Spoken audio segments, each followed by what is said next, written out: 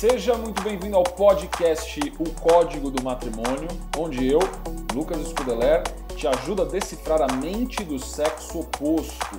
Vamos então ao nosso episódio de hoje. Maravilhoso! Hoje eu quero trazer alguns, algumas observações que eu, que, eu, que eu vejo ao longo desses últimos 10 anos de atendimento, tá? É, para a gente conseguir destilar o que é que caracteriza casais que ficam muitos anos juntos, tá? Independente se você tá solteiro, se você tá é, noiva, se você tá casada ou casado, não importa.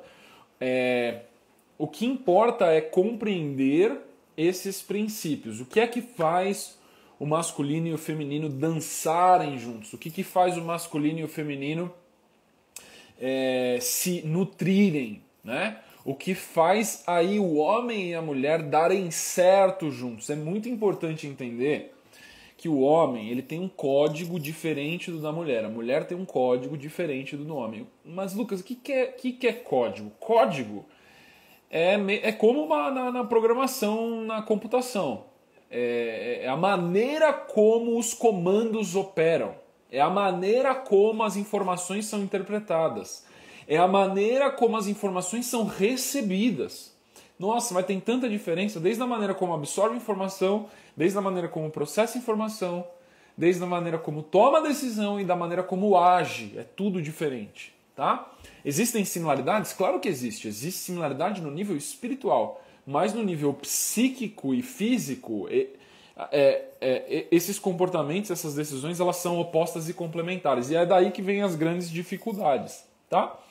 E ao longo desses últimos 10 anos de atendimento, eu tenho atendido muitos casais, às vezes casais que estão em processo de divórcio, casais que estão é, ou em grande conflito, né, ou em grande turbulência, né, ou mesmo pessoas que eu, que eu mentoro, que estão é, há muito tempo solteiras e estão com padrões muito enraigados e enraizados de individualidade, têm uma grande dificuldade de se relacionar com alguém, especialmente com alguém do sexo oposto, tá? Então, na aula de hoje, o que eu vou trazer para vocês, na live de hoje, tá? Eu tô até acostumado a falar aula, porque eu dou muita aula, é, mas na live de hoje, que vai ser uma aula, tá? Vocês estão recebendo uma aula gratuita aí, eu vou compartilhar tudo que eu sei com relação a esse conhecimento, com, relação a esse assunto.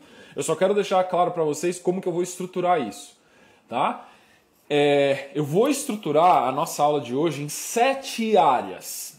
Essas sete áreas, elas vão das áreas mais densas até as áreas mais elevadas. Então a gente vai do nível material até o nível espiritual, tá? E sem dúvida nenhuma, desse, dessas sete áreas, a sétima área é a mais importante tá? É, a sexta é muito importante também, mas a sétima é a mais importante de todas. Então, é muito importante a gente passar item a item. Por que você vai, por que, que você vai começar da área mais densa pra do material para o espiritual? Porque é mais fácil entender a parte material, a parte física, objetiva da vida. E a gente vai ficando, vai indo para os assuntos mais sutis, tá? Então, ao longo da live de hoje eu vou explanar essas sete níveis, essas sete áreas nós vamos ver como que os casais de sucesso, os casais felizes se comportam nessas áreas. Olha que legal.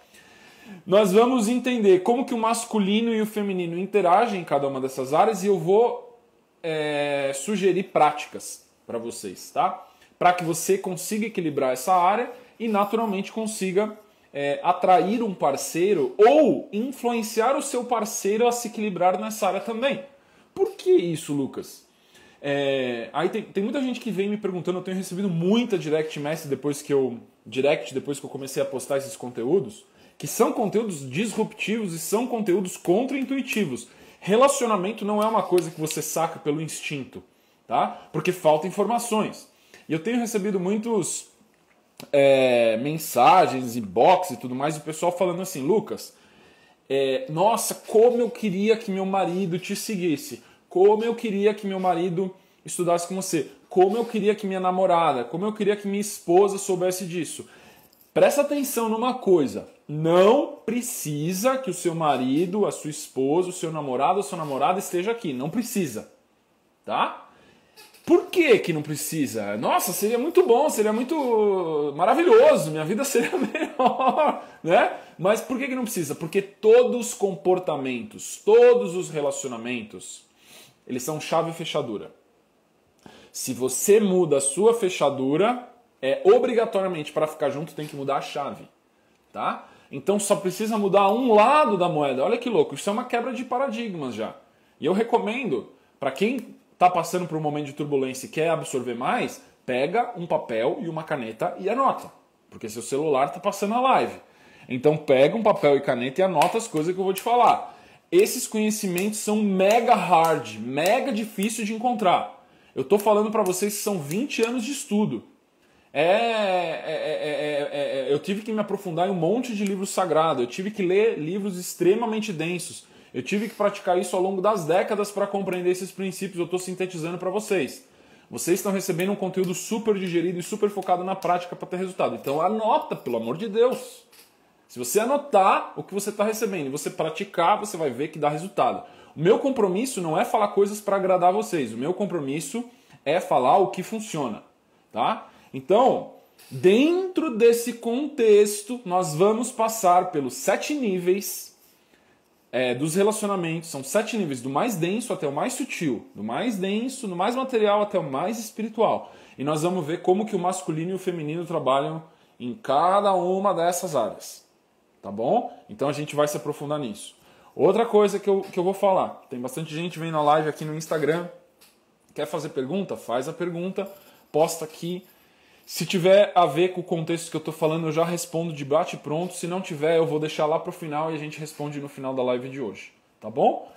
Então, legal, boa noite para todo mundo que chegou aí. É, tem gente vendo a gente já também no YouTube. Show de bola, vamos começar.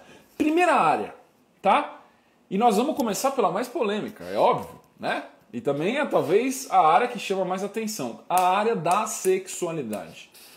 O que é que acontece na área da sexualidade que às vezes gera tanto problema para o casal. E como que é um casal que vive junto há décadas, 10, 20, 30, 40, 50 anos juntos? E qual que é o segredo desses casais? Né? Eu vou falar isso para vocês. É uma, anota, ritmos sexuais compatíveis e construídos em conjunto. O que, que significa isso? significa que é muito normal, é muito comum uma pessoa querer mais sexo do que a outra, tá? E, e, isso é natural, é natural. Sempre vai ter alguém com uma libido um pouco mais acima do que o outro. Ah, e não precisa ser o homem, pode ser a mulher, tá? Como que casais que estão juntos há muito tempo lidam com isso? Eles dialogam abertamente sobre, sobre a sexualidade, eles falam sobre as suas necessidades. Então, a pessoa do casal que tem uma necessidade, um ritmo sexual mais rápido, ela fala sobre isso. Tá? Fala abertamente quando ela está com vontade, é, não se sente culpada de falar e expõe a necessidade que ela tem. Tá? Então, o sexo não é um tabu. A pessoa que tem um ritmo mais lento é mega importante, mega importante. Ela entender a necessidade do parceiro e dizer para o, para o parceiro ou para a parceira como que faz para apertar os botões dela, tá? Então é, normalmente a pessoa que tem um ritmo mais lento ou é porque não está pensando é, em sexualidade ou porque está com alguma área da vida que está saturando, que está muito, muito pesada, né? ou está passando por uma grande crise. Isso é normal, isso é esperado, tá? Mas é muito importante a pessoa que tem um ritmo mais lento de sexualidade se permitir ser ativada pela pessoa que tem um ritmo mais alto, tá? E como que você vai fazer isso? E essa é a energia feminina. Não importa quem seja o ritmo mais lento, é importante entender que esse ritmo mais lento vai ser o ritmo receptivo, vai ser o feminino. Não importa se é homem ou se é mulher, tá? Se você tem um ritmo mais lento na sexualidade, você vai receber. Aquele que recebe e que é ativado pelo parceiro, seja mulher ou seja homem, precisa dizer aquilo que gosta, precisa dizer aquilo que acha é, prazeroso, como que a sensualidade entra na mente. Casal longevo tem isso e conversa disso com qualidade sem tabu, Tá? Então, essa é a primeira coisa. Compreendendo isso, se não compreendeu, faz a pergunta, porque eu respondo. Estou falando sobre sexualidade, então faz a pergunta agora. Tá? É, Para equilibrar, como que faz? Quais são as tarefas? Quais são os autodesafios? Como que faz para o casal que está desequilibrado no ritmo sexual? Como que faz para entrar em sincronia? Como que faz para entrar em ritmo? Simples. Eu vou passar quatro tarefas, quatro autodesafios para ambos os sexos e alguns específicos para homem e alguns específicos para mulher, tá? É, primeiro, é um alto desafio poderoso, que é combinar quem pode acessar quem e de qual maneira. O que, que significa isso? A pessoa que tem um ritmo mais lento precisa dizer para o parceiro como que faz para abordar a sexualidade. Como que faz para dizer que está com vontade? Como que faz? A pessoa que tem um ritmo mais lento precisa dizer quais são essas regras, porque é a pessoa que é, vai liderar. Olha lá, de novo a gente está falando do feminino. O feminino é aquele que recebe, tá? Um segundo alto desafio que é bastante importante é dialogar sobre o que gosta na área e negociar com o cônjuge. É super importante esse assunto não ser um assunto tabu num, num casal, tá? Principalmente se já tem compromisso, tem namoro, se tem casamento. É, o casal é parceiro em tudo. Como é que pode ter tabu em falar sobre qualquer assunto na vida deles? Não, não deve ter. Se a, a própria lei protege informação é, trocada entre o marido e uma esposa, mas tem assuntos que o marido e a esposa não falam um com o outro. Como que pode isso? Isso é, isso é um tabu. Assuntos que não podem ser falados. Não pode ter tabu entre um parceiro, um marido e uma esposa. Não pode ter. Entre cônjuges. Não pode ter tabu. Tem que ser falado aquilo que precisa ser falado. Muitos traumas emocionais são gerados por não, não falar aquilo que a pessoa está sentindo. Tá? Então, o alto desafio para o casal, para o casal, é dialogar mais sobre as necessidades que cada um tem dentro dessa área. Tá? E o outro que está ouvindo não pode julgar tem que tentar negociar e ver como que eu posso fazer isso que ela quer, como que eu posso fazer isso que ele quer, tá? Pode falar não? Claro que pode falar não. Se vier um pedido que é absurdo, que vai contra os seus valores, é claro que pode falar não. Mas como que a gente faz para tentar, tentar? A questão aqui é um esforço. Eu quero que vocês se comprometam a tentar ouvir o parceiro. E no momento que tenta ouvir o parceiro, que o vínculo de intimidade, o parceiro ou a parceira respeita mais e o relacionamento se aprofunda, mesmo que não aconteça exatamente aquilo que o, que o cônjuge pediu, tá? Uma agora um desafio, uma tarefa para as mulheres com relação à sexualidade, tá? A mulher, a sexualidade feminina, na verdade, não é da mulher, a sexualidade feminina, ela está relacionada com a ativação da segurança. Quando a mulher se sente segura, quando a mulher se sente cuidada, quando a mulher se sente desejada e admirada, a sexualidade dela naturalmente acende, tá? É... Homens, anotem isso. Homens que estão ouvindo essa live, anotem isso. Presta atenção. É exatamente isso que a sua esposa ou sua namorada vai querer dizer quando ela fala que é, não é só chegar, tratar mal ou ser grosseiro ao longo do dia e depois à noite achar que vai ter tipo o carinho da esposa que não vai ter. Na grande maioria das mulheres, isso tende a não acontecer, tá? É, só que tem alguma coisa que a mulher pode fazer também para se sentir mais segura dentro do controle e do domínio dela? Tem. Duas coisas são muito importantes: ficar mais tempo na natureza, tá? Então, a vida social é bastante estressante. Ancestralmente, a gente tendia a ficar mais tempo na natureza. Então, a mulher que tende a passar mais tempo na natureza, praticar yoga, praticar exercícios físicos leves, ela ativa a feminilidade. Presta atenção, muitas seguidoras estão me perguntando como que ativa a feminilidade. Estou dando código para vocês. Ficar na natureza, cuidar de si, praticar yoga, todas essas coisas vai fazer uma ativação da feminilidade muito poderosa, tá? É, isso vai diminuir a necessidade de ter uma segurança externa do parceiro e naturalmente vai ativar a sua libido, que é o assunto que nós estamos falando aqui. O primeiro nível do casal longevo e feliz, que é sincronia sexual, tá? Homens, homens, como que ativa a masculinidade? Pelo amor de Deus, não pode ser sedentário, não pode não fazer exercício. Nunca existiu um homem ancestral nas gerações anteriores que não fazia exercício todo dia. Por que, que o homem tem testosterona e produz é, músculo com muito mais facilidade que a mulher? Porque ancestralmente, fisiologicamente, geneticamente, o homem é feito para trabalhar e para fazer trabalho muscular. Então, para a saúde psíquica, para a saúde física do homem, pelo amor de Deus, faz exercício todo dia. Uma recomendação minha para ativação da energia masculina ainda mais forte, não é só fazer exercício. Eu recomendo fortemente uma arte marcial, ou fazer uma arte marcial, ou musculação todo dia. A arte marcial não tem, é caro, não sei aonde, vai, vai vir um monte de objeção. Vai na academia e puxa ferro. Tem que levantar peso e tem que levantar peso pesado existe uma cascata hormonal que acontece no homem que é extremamente importante para que ele tenha saúde física e sexual e para que ele esteja disponível também. Principalmente homens ou mulheres que estão ouvindo e têm problemas com o homem de ejaculação precoce ou de falta de libido ou de cansaço. Duas coisas. Primeira, o cara tem que fazer exercício físico, tem que levantar peso, tem que mexer os músculos porque ativa toda a cascata hormonal dele. Segunda coisa, e essa é pesada, pega esse código, homens, para de ver pornografia. Para de se masturbar.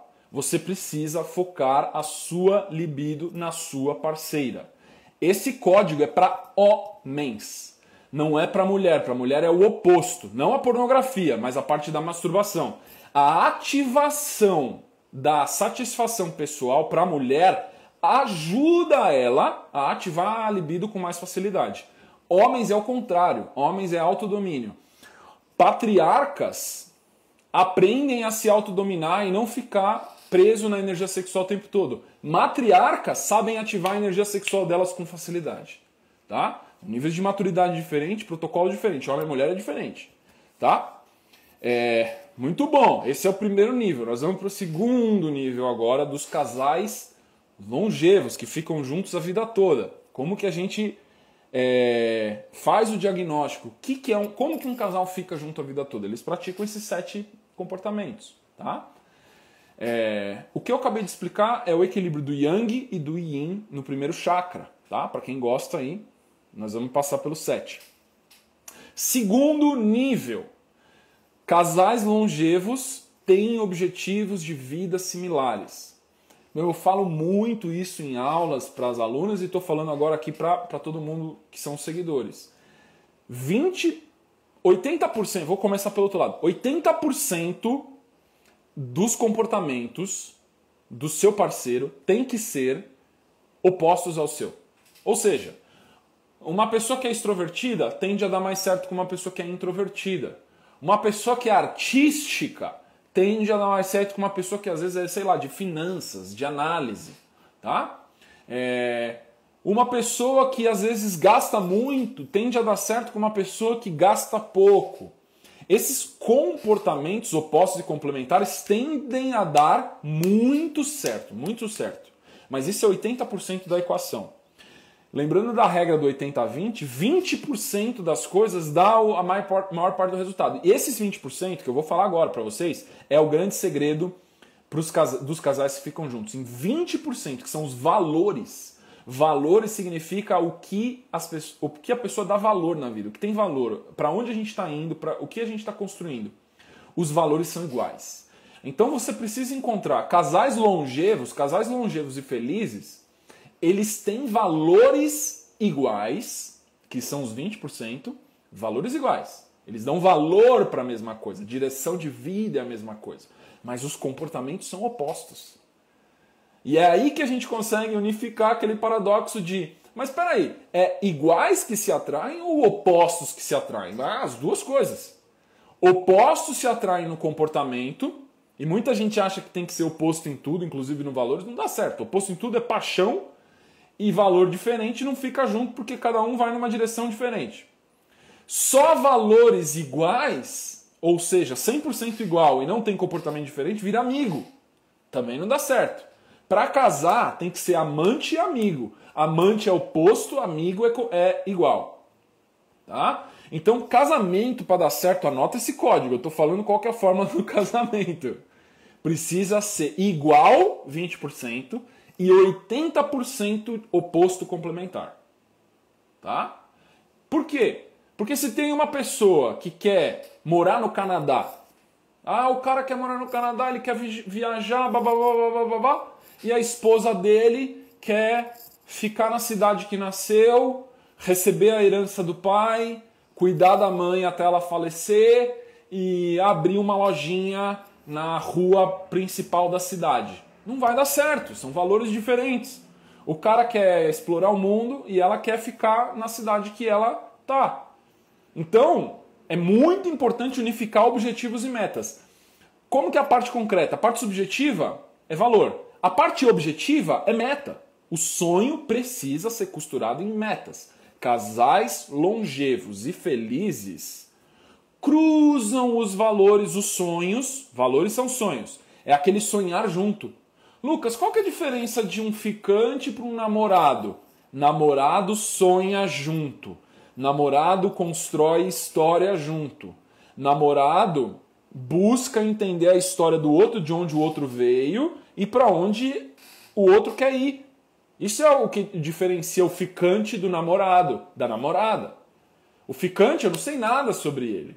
Idealmente, você não tem nem que ter satisfação íntima ou sexual com, com o ficante, pelo amor de Deus. Você está me seguindo aqui, pelo menos segue algumas dicas e uns conselhos. Não vai sair e fazer besteira, porque não vai dar certo. É, pode flertar, pode ficar, pode sair, pode conversar, pode namorar, dar beijo? Pode. Mas se não tem um compromisso, não pode ter intimidade física, não pode ter. A não ser que você não queira um compromisso com essa pessoa. Você pode fazer o que você quiser. Mas se você quiser um compromisso com um homem, um compromisso com uma mulher, eu tô, a maioria da minha audiência é mulher. Eu vou falar para as mulheres porque elas têm a liderança no relacionamento. Não pode, não pode é, dormir com o cara. Pelo amor de Deus, mulheres. Esse é o conselho da vovó. A vovó que amava você. Só que ainda a gente perdeu essa tradição matriarcal. E tem muita mulher que vem me falar de, de feminilidade, de feminismo. Isso é mó baboseira. Feminismo é ouvir a mãe. Feminismo é ouvir a matriarca. Aquela mulher que é mais sábia. Antigamente você precisava apresentar o homem para a, a, mãe e para a avó e elas validavam. E falavam, por que, que elas validavam? Porque elas têm sabedoria, elas sabem como os homens são porcaria. É muito simples. Elas chegam e falam: esse cara não é legal, esse cara ele só quer transar com você. Você não vai sair com esse cara. A, a mulher mais nova, que está pega pela libido, que está encantada com a ilusão da princesa, ela não consegue ver. E quem protegia essa mulher ancestralmente? Eram as matriarcas. Mas quem tem que fazer isso agora? É o Lucas que tem que fazer isso agora. Aí ainda tem feminista que vem agora me dá porrada, porque eu estou falando uma coisa para proteger as seguidoras, para proteger as minhas alunas. Não estou nem aí. Eu vou falar qual é a realidade. Se você quer ter um namorado, se você quer ter um casamento, você tem que praticar isso. Eu, tô, eu, eu encarno a energia da vovó para dar o conselho. Tá entendendo? Agora, se você só quer se divertir, você quer ir pra festa, você quer ir pro carnaval, então não segue o conselho do Lucas. Aí é outra coisa. Então você pode até sair dessa live porque eu não tenho nada para te agregar. Tá? Então um desabafo e a gente continua. Tá? Para dar certo, o casal longevo e feliz, eles têm objetivos de vida similares. 20% é igual, 80% é oposto complementar. Tá bom, Lucas, entendi, mas como que eu faço para construir isso num relacionamento que eu já estou, ou se eu estou solteira, ou se eu estou solteiro, como que eu faço isso? Muito importante, para quem é solteira, primeiras conversas, primeiras saídas, tá? É perguntar para o cara onde ele quer chegar. Aonde você quer ir? Aonde você quer chegar? Quais são os seus sonhos? Quais são as suas metas? Essas coisas têm que bater com a sua. Se não bater, você vai questionar o cara. Vamos dizer que você gosta do cara, você está saindo com o cara, está flertando, legal, beleza. É, você está disposto a negociar isso? Eu tenho algumas outras coisas que tenho alguns valores diferentes. Algumas coisas eu gosto, outras coisas eu não sei se eu gosto. Talvez você pode me explicar. Você está disposto a negociar isso? Nesse bate-bola, o cara já falou: Nossa, que mulher diferente, que interessante. Me fala mais sobre isso. Nessa hora o cara inverteu a jogada e agora ele está prestando atenção em você. Solteiras, presta atenção. O segredo para deixar de ser solteiro e começar a namorar é fazer o cara prestar atenção em você. Por que, que os homens não querem namorar? Porque as mulheres ficam tentando agradar demais. Ficam tentando agradar demais. O cara que tem que te agradar. Ele que tem que te conquistar.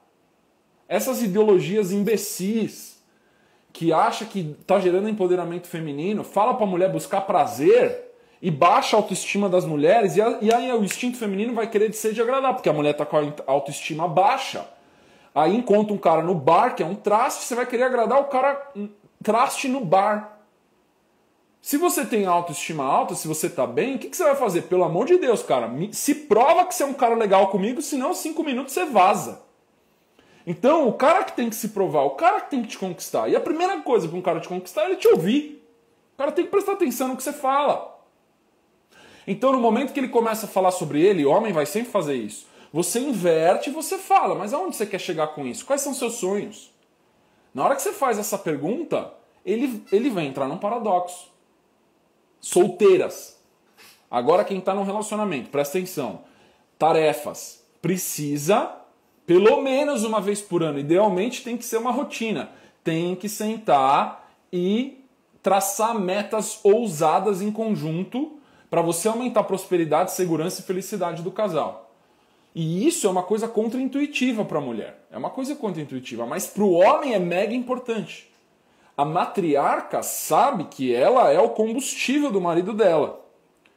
Quanto mais essa mulher, presta atenção no que eu vou falar, isso aqui dá uma porrada nos homens, mas eu vou falar mesmo assim porque meu compromisso é com a verdade. A mulher, quanto mais ela cobra o cara com amor, mais o cara cresce, prospera e vira homem. Isso é verdade. É dolorido pro homem, mas é verdade. Quanto mais a mulher é verdadeira, espiritualizada, amorosa, carinhosa e ela cobra o cara na direção certa, mais o homem produz, é próspero e se torna um patriarca, guardião e provedor. Como que você transforma um homem, um menino, num homem? Precisa ter uma mulher forte matriarca. Esse é o processo de transformação do menino no homem. Tá?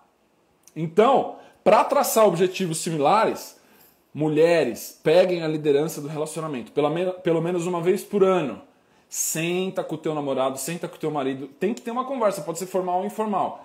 Traça metas. Onde a gente está indo, meu amor? O que, que nós vamos fazer? Nós vamos comprar um apartamento, nós vamos montar uma barraquinha de coco na praia, nós vamos viajar o mundo. Vamos planejar? Então, em prol do planejamento, você pode falar. Eu tenho recebido um monte de mensagem nos box. Como que eu falo de casamento com meu namorado? Como que eu menciono namoro pro cara que eu tô ficando e eu gosto? Como que eu motivo meu marido a, a ser mais engajado com a vida, a querer mais prosperidade, a querer crescer? Eu tô dando código agora. Você tem que sentar em prol do planejamento e falar: meu amor, para onde a gente está indo? Vamos conversar? Vamos alinhar as metas? Porque a mulher ela tem o combustível para o homem, que é a admiração dela. No momento que você tira a admiração do homem, é como se você estivesse tirando o celular da tomada, ele está vivendo na bateria. Na hora que você coloca a admiração, ele se sente mais poderoso, ele se sente mais forte. A matriarca ela sabe como dosar esse carregar do homem e descarregar, carregar e descarregar, tá? É, segunda coisa, isso é para os dois, é tanto para homem quanto para mulher. Presta atenção, anota isso para desenvolver objetivo de vida similar, para ir para a mesma direção, tem que parar de receber poluição e ruído de fora, social. Vocês precisam se fechar mais como casal, tá? Ou então qual que é a tarefa? Eu estou passando a tarefa, anota. Usar menos as redes sociais para entretenimento e usar para estudo só. Casal que fica muito tempo em rede social para entretenimento começa a pensar besteira. É porque a outra tá mais feliz. É porque o, o outro cara tem uma esposa que é mais bonita. É porque o, a, a outra pessoa tá viajando e meu marido não tá assim. Eu tô aqui presa. A outra tá tendo filho e eu não tô conseguindo ter. O outro cara tá fazendo isso, isso, aquilo, comprou esse carro, conquistou tal coisa. Todas essas comparações são super destrutivas, elas afastam a gente do, do nosso parceiro. E isso é uma novidade no mundo moderno. Antigamente não existia isso. Só que a rede social é montada de uma maneira que vicia tanto a gente que se você usar isso para entretenimento, você se perde. Você se perde.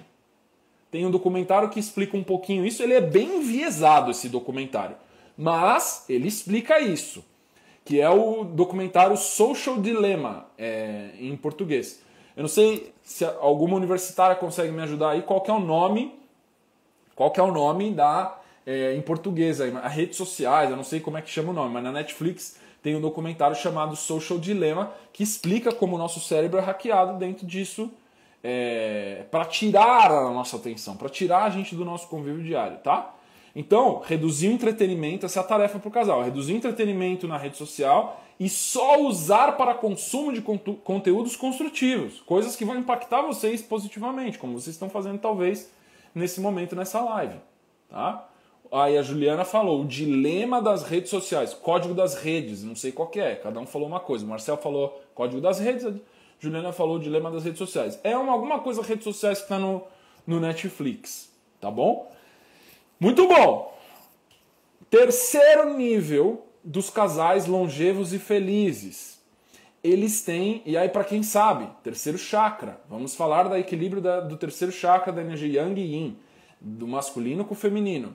O que os casais longevos que estão muito tempo juntos e felizes fazem? Eles têm rotinas sincronizadas. É uma coisa que eu já vi acontecer dezenas de vezes, gente brigando, casal brigando porque é, a esposa dormia tarde, o marido dormia cedo, né? Porque o, o, o, o cara acordava cedo e queria a esposa tomando café com ele e ela não estava lá. Ou o contrário, né? A esposa esperando o cara é, o marido para jantar e o cara ficava no trabalho até tarde e não chegava em casa para compartilhar tempo com o filho e com ela. Eu já vi todos os tipos de casos de rotina desincronizada. Então, casais longevos e felizes, né? Prestem atenção. É, é, casais longevos e felizes, eles sincronizam a rotina. Sincronizam a rotina porque sabe que é importante aquilo. Você tem que priorizar. Três prioridades em relacionamento. Primeiro, Deus. Segundo, eu mesmo, eu comigo mesmo, eu com Deus, eu comigo mesmo, eu com o cônjuge. Esse é o terceiro. Eu preciso priorizar o cônjuge acima de todas as outras pessoas. Tá? Casais longevos e felizes priorizam o cônjuge acima de todas as outras pessoas. Mas Lucas, como assim? Eu tenho filho de outro casamento. Eu tenho filho desse casamento. Meu filho é mais importante, precisa de mais de mim. Seu filho precisa mais de você, mas ele não é mais importante do que o seu cônjuge. Não é. O marido vem antes, a esposa vem antes. Esse é um grande erro, um grande equívoco de pessoas que priorizam os filhos em vez do cônjuge. Aí acontece qualquer ou uma fatalidade ou a vida normal. Eu ouvi uma história hoje de um casal que estava priorizando o filho. Aí o filho, Deus perdoe, Deus receba, né? O filho morreu de meningite com um ano e meio. O casal se divorciou, ficou despedaçado. Olha que louco isso. Por quê? Porque desfez o vínculo para cuidar do filho. O filho, você tem gestão, dever e usufruto, mas ele não é seu, ele está com você. O seu parceiro é seu porque você escolheu. Tudo que você escolhe conscientemente é seu. E aí, até o seu último dia de vida, esse parceiro que você escolheu é seu. Então você tem muito mais responsabilidade sobre as suas escolhas do que o que te é dado como presente. O seu filho foi dado para você, não, você não escolheu. Talvez você tenha escolhido ter o filho, mas você não escolheu o filho. O parceiro não, o parceiro você escolheu. Tá? Se você priorizar o filho, você vai perder o casamento. Não pode priorizar filho além do cônjuge. Filho vai embora, você cria filho para o mundo. Casamento é uma coisa até seu último dia de vida. Casamento vem antes de filho, tá? Isso também resolve muita. Ah, o meu parceiro tem filho do outro casamento, eu também tenho filho de outro casamento. O que, que você faz? Você prioriza o seu parceiro e os filhos viram de todos. Tá? Esse código resolve meio que tudo. Casais longevos e felizes fazem isso que eu estou falando para vocês. Então a primeira coisa, tarefa para ter rotina sincronizada. É, ter um dia da semana para ser namorado. Por favor, façam isso. Isso é um negócio besta e é mágico ao mesmo tempo. Mas trava a agenda. Não fica, ah, nós vamos ver. Ah, na hora que der a gente faz. Não, tira lá. Quarta-feira. Quarta-feira é um dia maravilhoso. Eu com a minha esposa a gente fez isso décadas da nossa vida. A nossa quarta-feira era o dia para a gente ser namorado. Enquanto, até depois que a gente casou, a gente continuava saindo de quarta-feira. Pode ser outro dia, Lucas? Pode. Escolhe o dia que for mais conveniente para vocês, mas nesse dia não tem filho, não tem trabalho, não tem responsabilidade, só tem momento junto com o teu parceiro, com a tua parceira, e momento de diversão e de leveza, e pode sonhar junto também, pode criar metas. Então, é para curtir um outro como vocês curtiam quando vocês eram namorados. Primeira tarefa, anota, tá? Quem não está anotando vai acabar esquecendo.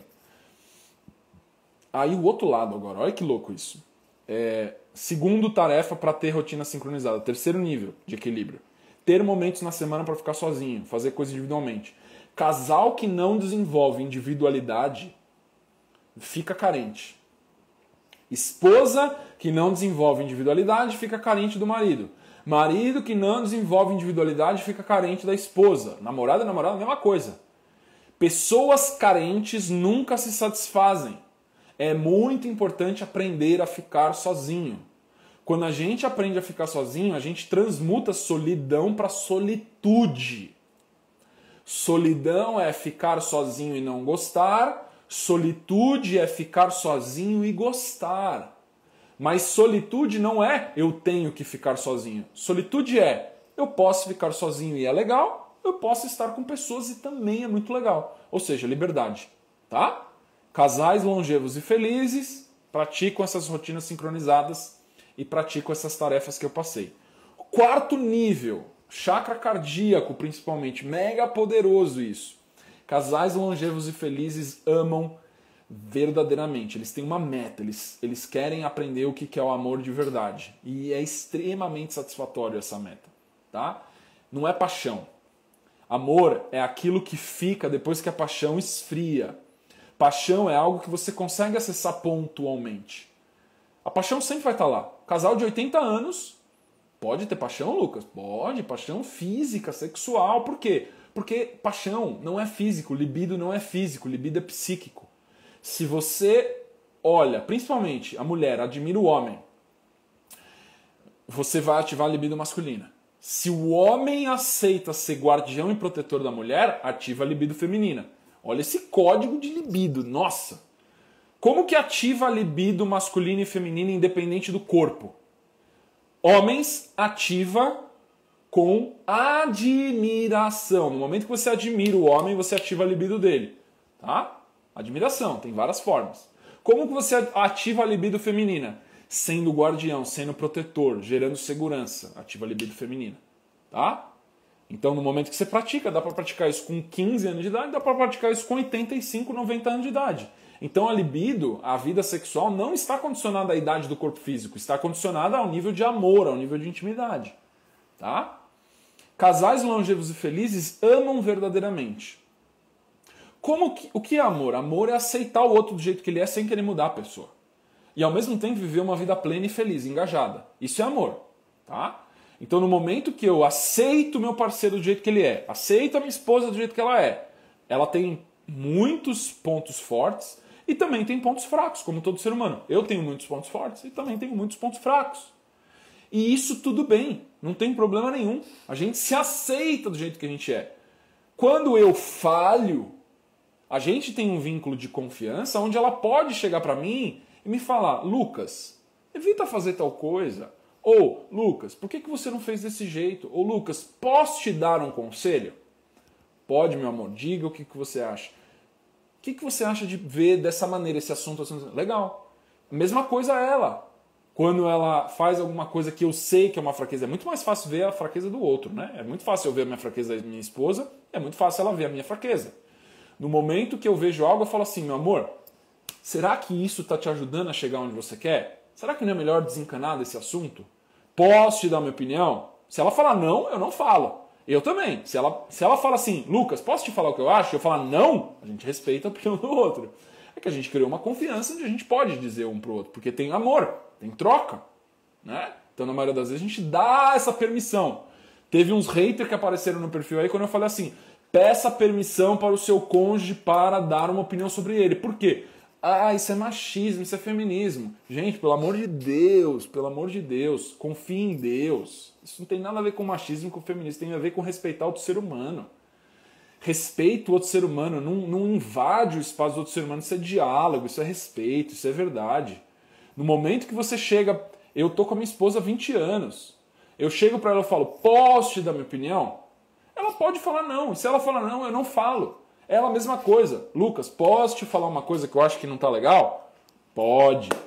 E eu recebo aquilo. Na hora que você pede permissão, você desarma outra pessoa. Então quem ama, pede permissão.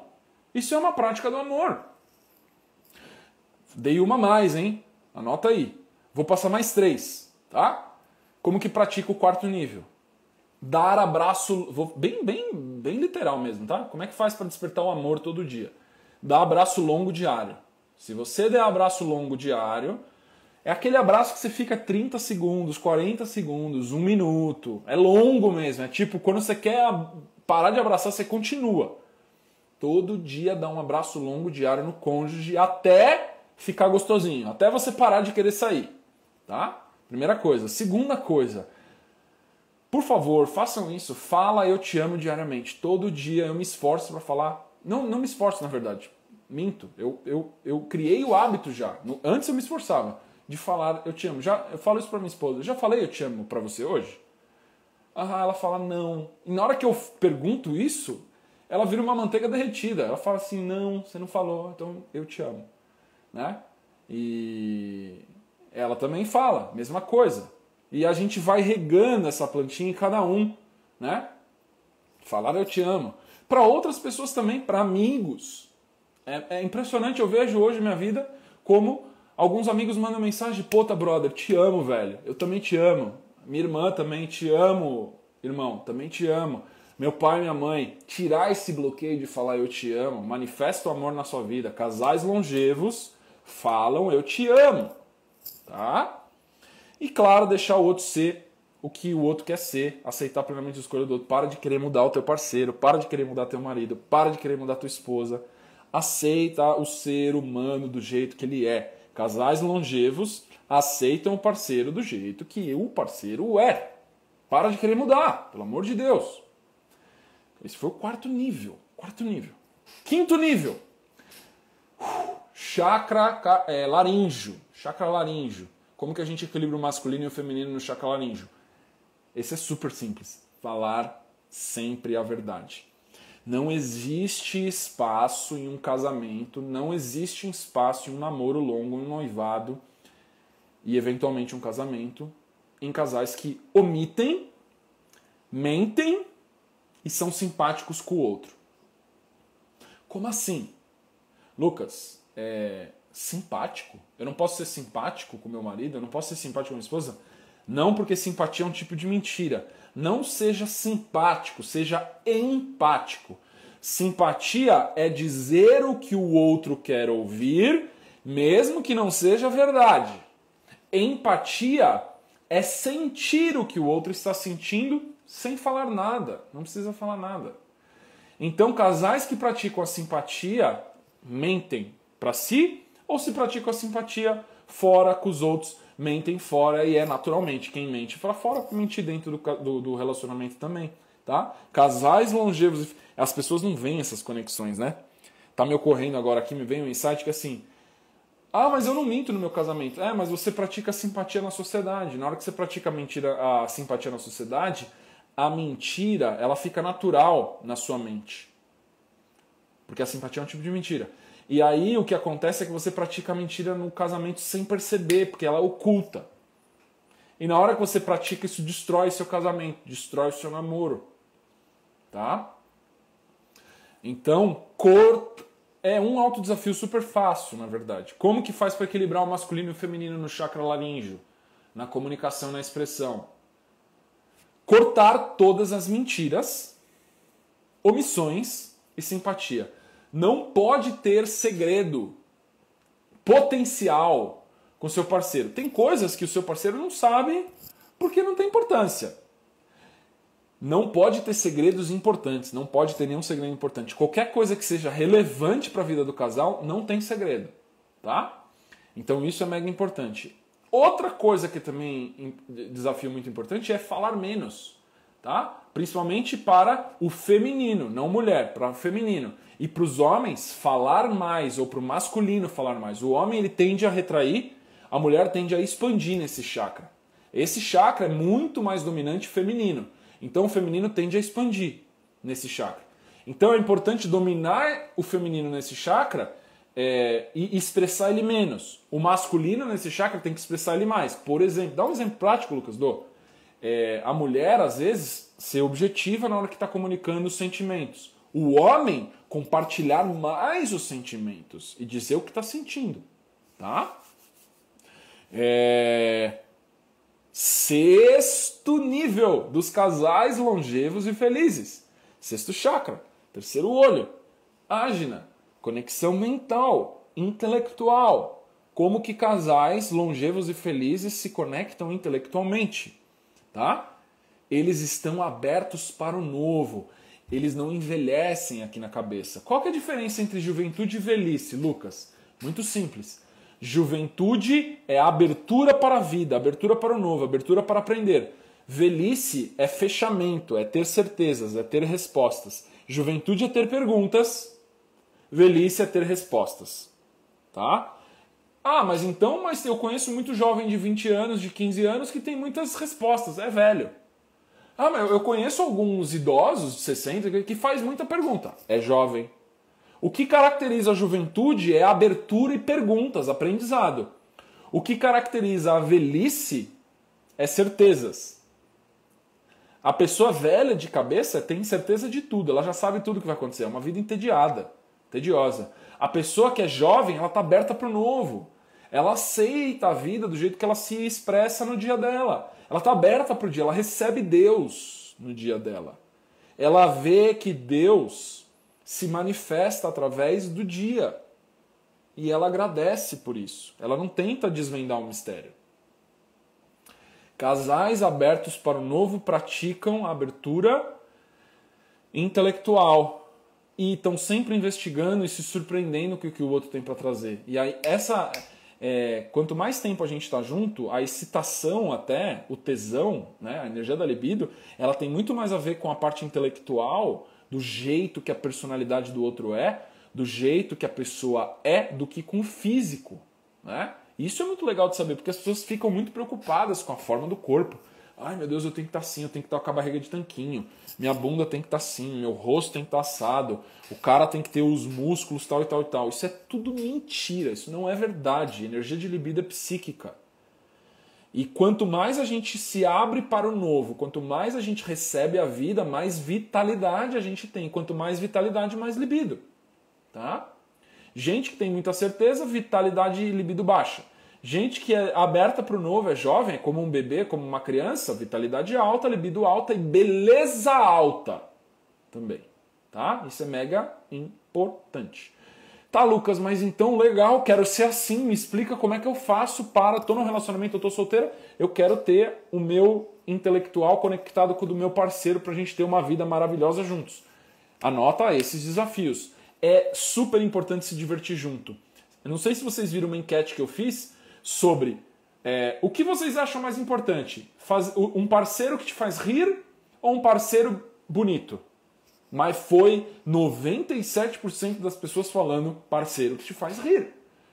E, e, por mais que pareça algumas pessoas, ah, mas a galera mente, Lucas. O pessoal gosta de um corpo bonito, não é só rir. Isso é verdade no nível superficial, quando você está fazendo flerte no Tinder ou quando você está indo para o bar e tudo mais. Mas na rotina, na construção do dia a dia, rir é muito mais importante e muito mais excitante do que beleza física. É claro que é que é atraente uma pessoa que se cuida, sim, mas não é só por causa do, do, do, do da beleza física. O que a gente sente atraente é autoestima. Nota esse código, esse código é mega poderoso. Pessoas que se cuidam têm autoestima alta, têm confiança e confiança é carisma. E é isso que a gente sente atração. Tá? Casais longevos e felizes, eles estão abertos para o novo, sexto nível. Tá? Então eles se divertem juntos. Essas são as tarefas. Eles têm tarefas de se divertir juntos. Por exemplo, viagem, viajar de, é, voar de balão, pular de paraquedas, ir visitar uma cidade do interior do meu estado uma vez por mês.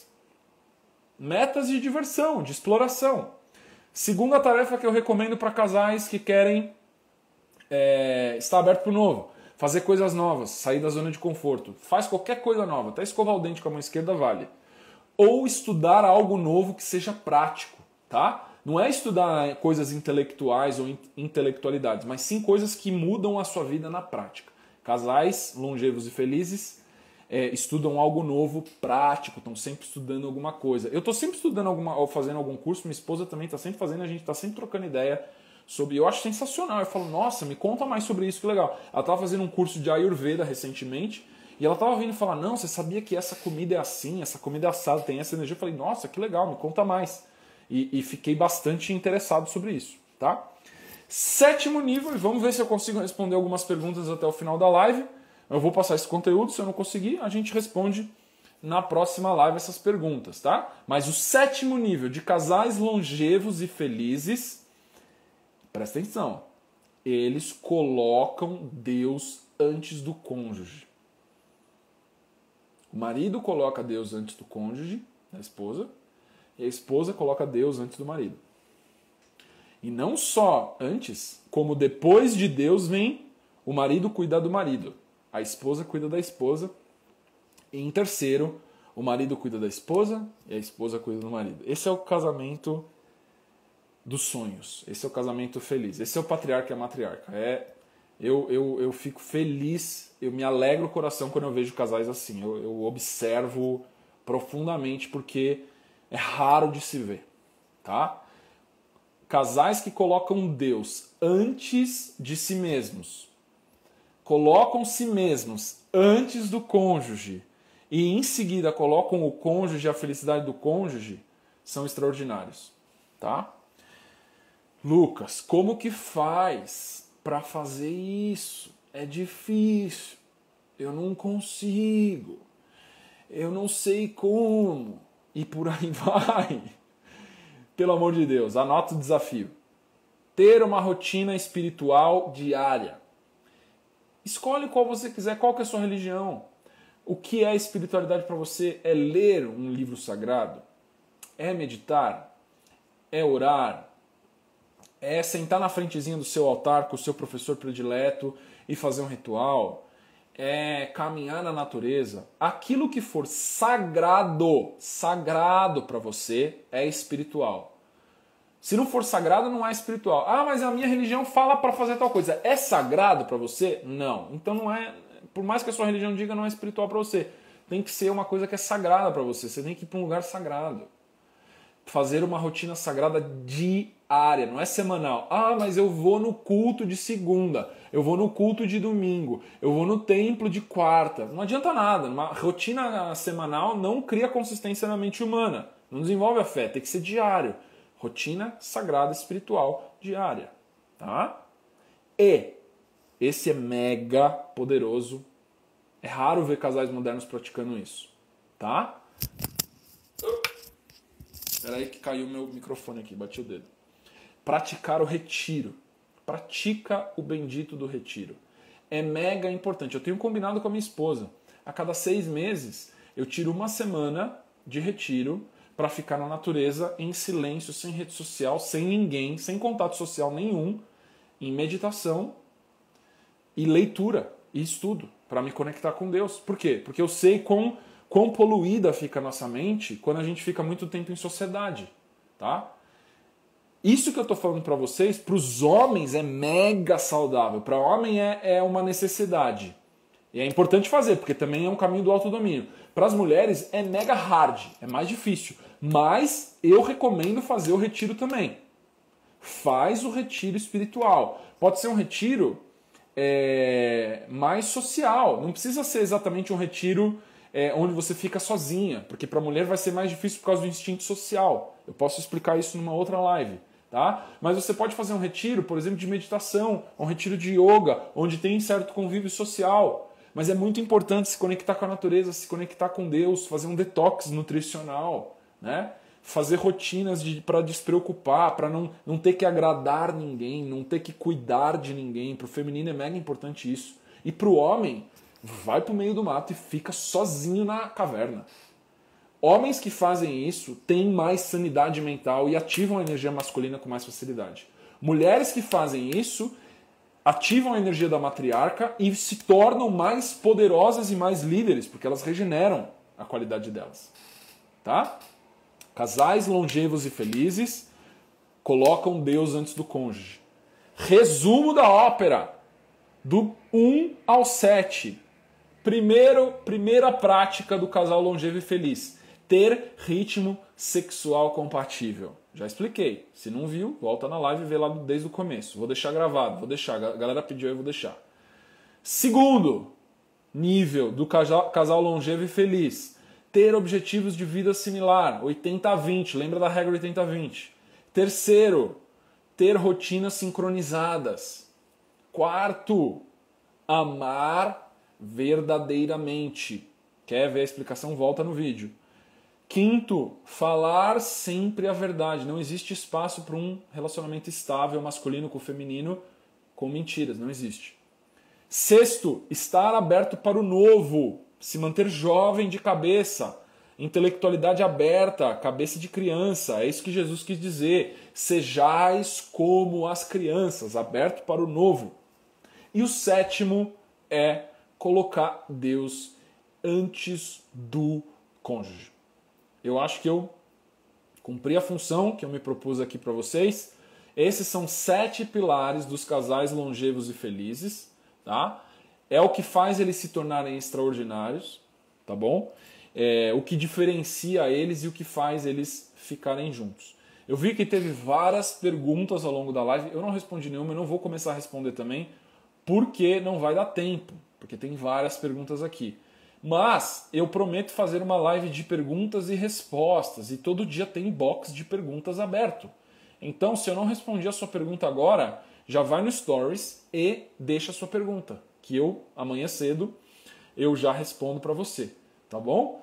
Eu quero agradecer imensamente a presença de vocês. Lembra de compartilhar essa live com quem você acha que vai gostar ou com quem precisa também, tá? Vamos praticar esses conhecimentos de relacionamento Estamos juntos, contem comigo, mandem perguntas, compartilhem e até a próxima live. Acho que vou fazer uma live na sexta ou no sábado de perguntas e respostas. Não sei exatamente ainda.